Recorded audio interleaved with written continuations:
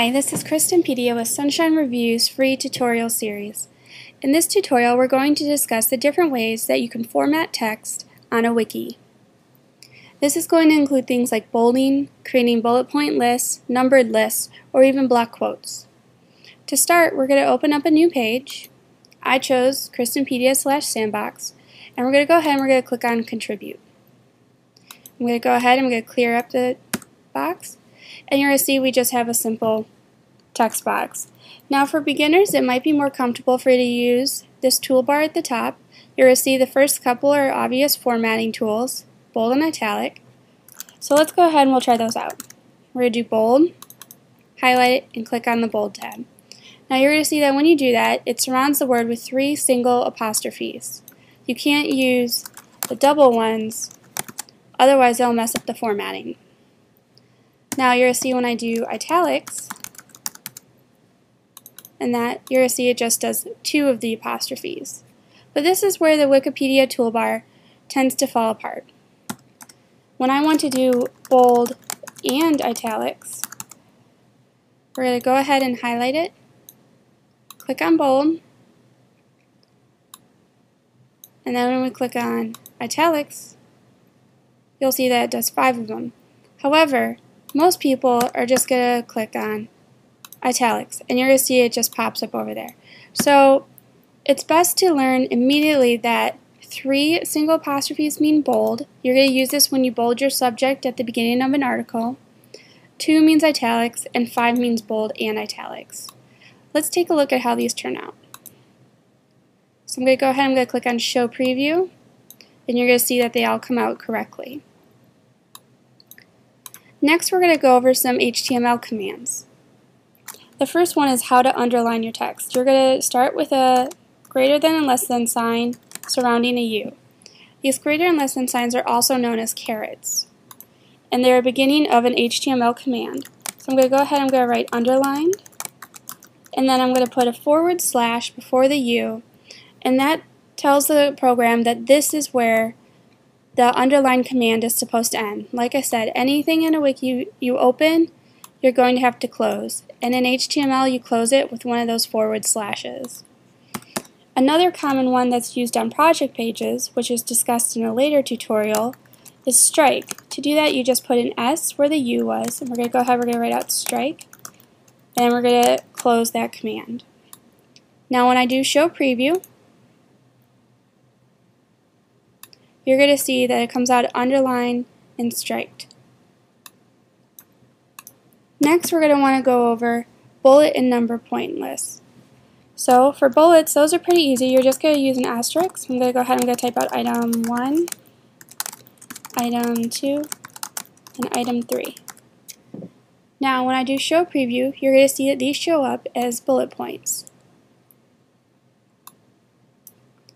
Alright, now if you want to do an indented bullet point, there's two ways you can go about that. You can do two asterisks, see I'm going to do item 4, or I can do a colon mark and then an asterisk, and this is the way I would recommend.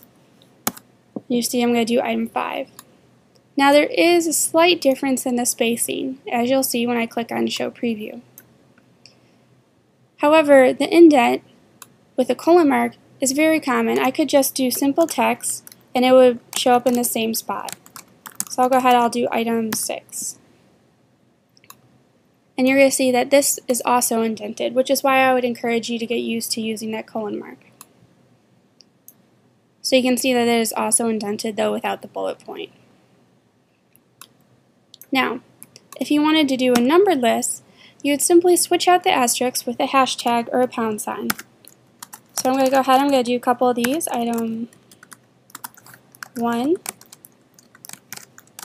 item 2, and item 3.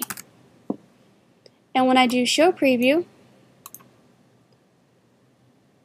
you're going to see it comes out as 1, 2, 3. Go ahead, I'm going to zoom in a little bit more for you. Now, I'm going to go ahead and zoom out. Let's say I wanted to indent one of these items.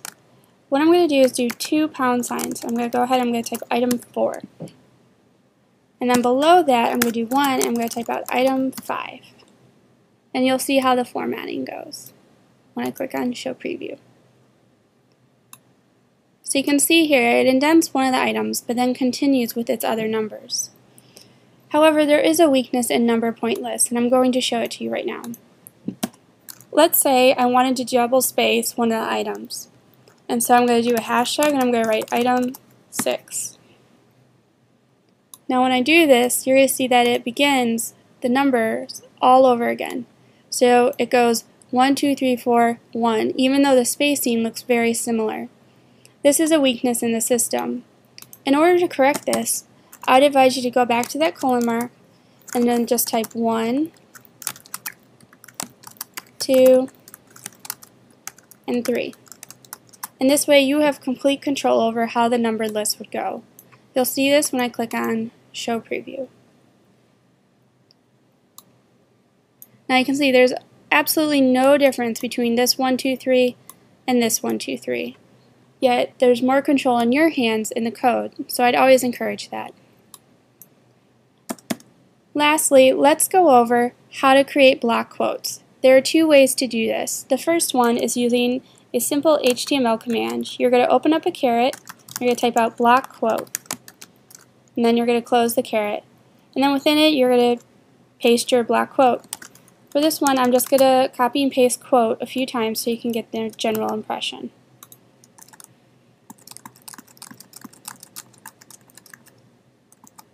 Alright, now what you're going to want to do, go ahead and backspace that, is you're going to want to close the block quote command. So we're going to do that forward slash and write out block quote. Now when I do this, I'm going to go ahead and click on Show Preview. And you can see that it's indented. And it goes across the page. So it's not censored or anything, it's just slightly indented like block quote should be. But you're also going to notice it's not italicized, there's no quote marks, so a lot of the formatting is left up to you. There's also a wiki template, which is something else that we'll go over in a later tutorial that can help you with this.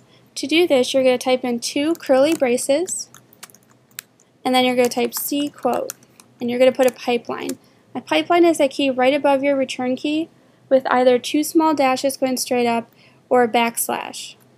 And then you're going to paste your quote in. So I'm going to just go ahead and copy this again, paste it down here. And then you're going to close those two curly braces. Now, when I do show preview, you're going to see that this time there's these pretty images that surround your block quote and help clue in your reader as to what they're reading. So I'm going to go ahead, I'm going to save my page.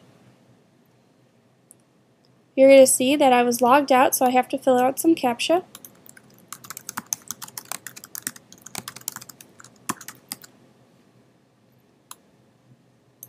Actually, we're going to go ahead and refresh that.